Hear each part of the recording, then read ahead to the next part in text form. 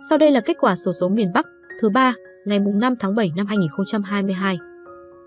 Giải 7, các vé tận cùng mang số 7 3 2 7 1 2 6 6.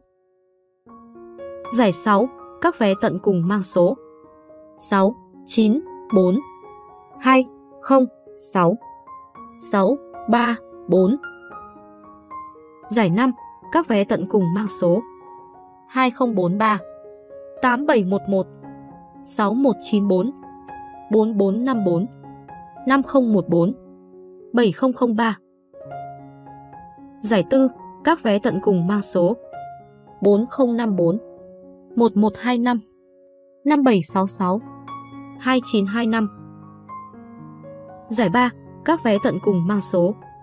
16651 85886 17190 97486 12030 22813 Giải nhì, các vé tận cùng mang số 99531 72909 Giải nhất, các vé tận cùng mang số 8 7 3 7 5 Giải đặc biệt, các vé tận cùng mang số 6 8404 với mã vé số đặc biệt lần lượt là 14 Red Hit 2 Red Hit 6 Red Hit 7 Red Hit 8 Red Hit 9 Red Hit